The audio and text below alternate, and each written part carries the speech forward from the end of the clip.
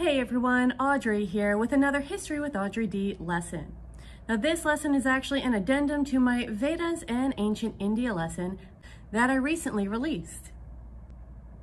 I had so many comments about this particular lesson that I wanted to address a few of them. But first of all, I want to say thank you to everyone who commented, whether it was positive, negative, or just informative.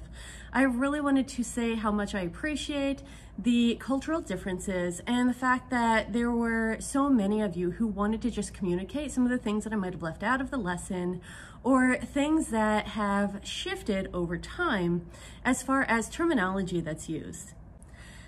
That being said, one of the first things I want to address was one of the questions, which was from at manh9105. He asked, what is my qualification that I am lecturing on Hinduism and the Vedas?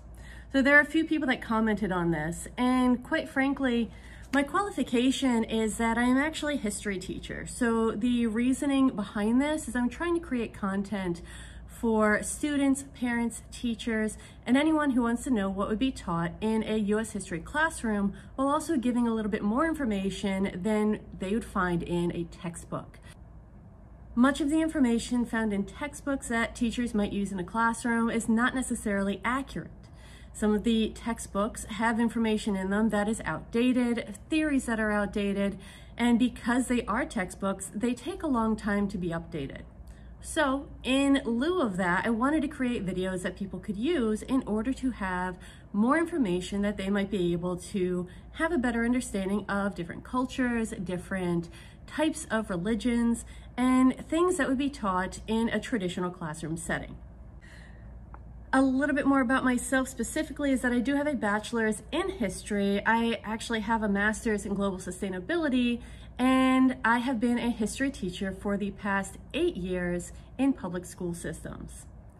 Uh, with that, it comes with a lot of understanding that not everything is able to be found um, readily available, and it takes a lot of research for teachers to be able to know everything and be a potential expert on the subject. I am by no means an expert on any specific subject that I am covering, I know that there is plenty that I can learn, and that is also why I'm doing this video, because I appreciate the comments that were left about things that I forgot or that I just didn't see when I was doing my research. I really want people in the US especially to have more understanding of other cultures because I believe that that is one of the biggest ways that we can create more understanding about other people and also understanding of ourselves. All right, so the next comment I'm actually going to discuss is from Arian Brata 9188 and this one says that there are many problems with the video. And first of all, he says that Dharma, Karma, and Moksha are not Vedic, that Rita is Vedic. Now, most of the other comments actually say that Dharma, Karma, and Moksha are Vedic and that they are also Hindu and that in this I've actually left one of the core principles out, but I'll get that to that one when I get to that particular comment. Um, so I'm not sure why that particular statement's made. Well, moving on from that one, he says that the god Mitra, and this sort of relates to one of my other videos where I do talk about the relation or correlation between Iranian gods and some of the Indian gods and how some of the names seem to have been adopted into the Indian or Hindu religion. Uh, this particular person says the god Mitra related to Iranian Mithra and Roman Mithras was associated with justice and Rita. It also says that the word Rita also meant rituals or rites. Thank you, did not know that. Had not heard of Rita yet in my research, so I do appreciate you adding that in. Secondly, um, didn't understand why I, or did not mention the main theme of the Vedas, or the Rig Veda, I should say, which was the slaying of the evil Asura dragon, um, Vritra, by the thunder god Indra. So again, I was not aware of that, but I, it's also not something that is put into our standards or our learning goals or our learning targets. So certain aspects of the religion I'm trying to give an overview on. However, very happy to create something to where I can do an addendum like this whenever someone has additional information they want to add for me.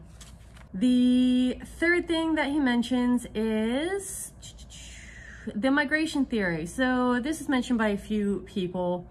Um, migration theories are spread throughout a few of my lessons and by migration theory I'm not talking about invasion theory because the invasion theory was completely discounted it, it's it's no longer a valid theory it was something that someone saw all of the bodies that had been buried in I believe it was Harappa and assumed that there were invaders that came in killed everybody and the bodies were buried in haste that was inaccurate.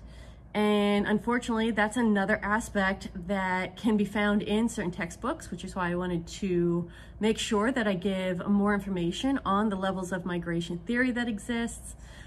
Now, the Andronova culture is the primary culture that I started to discuss in my later Vedic episode, I believe, and I also discussed some of the migrations in the early Vedic episode because when we talk about the migrations, I'm not necessarily saying that they all happened after Harappa and Mohenjo-Daro were created. I'm actually saying that many of them probably happened before Harappa and Mohenjo-Daro were built. And by that, I mean Mohenjo-Daro and Harappa were most likely a combination of cultures.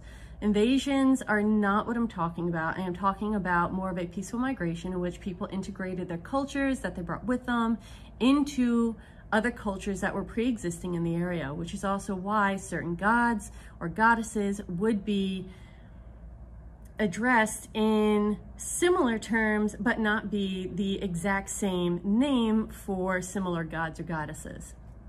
This happens throughout a number of cultures. It's not new. It happened with Greeks and Romans as well. Uh, moving on from that, one of the main things that he says is how the Iranian Aryans were more so a warlike people. Yes, they were definitely warlike. They would have been able to defend against any invaders.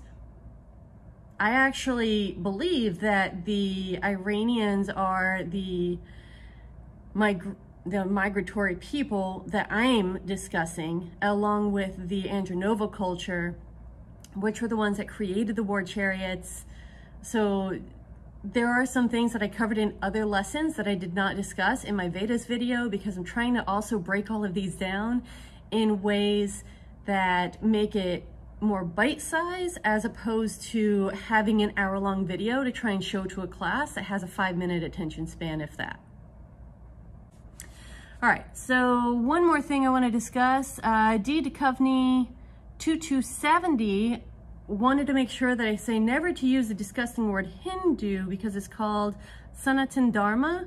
Now, Sanatan Dharma um, is actually, from the research that I did after reading this comment, a term that began to be used in the 19th century. Again, I'm covering ancient history right now, so the reasoning behind most of the terminology that I'm using has to do with how it's portrayed in our classrooms and the key terms and things that students really need to know. Say I am more than happy to to actually relay any other information, especially as I continue on if people want to give me more information as to different terms that are used more often now. However, one of the things I will say is if it is not in direct relation to the ancient aspects of civilization at this point in time, they're not key terms that I am necessarily going to be using as direct relation to my topics. Now, as we move further into modern history, modern world history, I will absolutely be more likely to do that.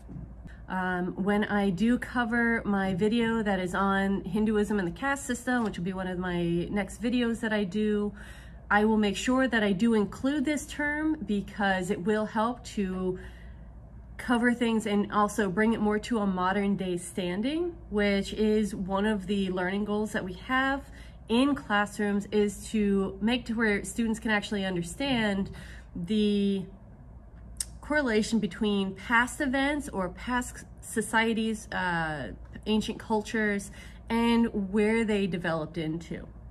And the final one that I'm gonna discuss is again from tectonic underscore shorts. So he talks about how at 315, I described only three pillars of Hinduism.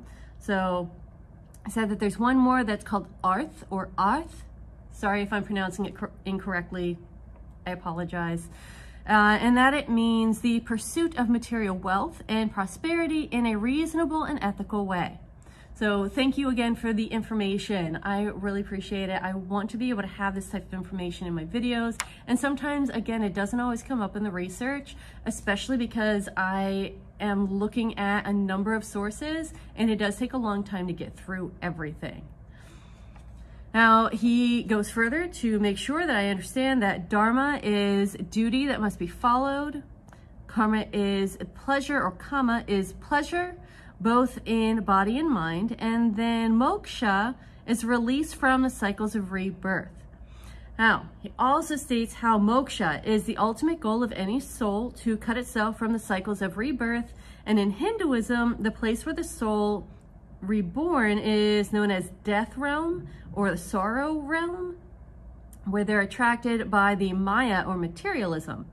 And then they forget that their real goal is to get liberated and become part of the one unity, which would be the Brahman, from what I understand, and experience the real self and infinite bliss. So he makes the connection between what we would call the matrix and the Maya.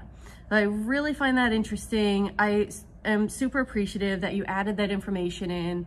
I find it fascinating that we do have so many cultural differences. And again, not all of my research is going to bring up the same things that people who are raised within a culture would actually be more privy to because again, you are raised within that culture. So I appreciate all of you for putting in your comments and letting me know anything that I left out of the video. I do hope you enjoy this follow-up video. Thanks for watching again, everyone. Have a great day.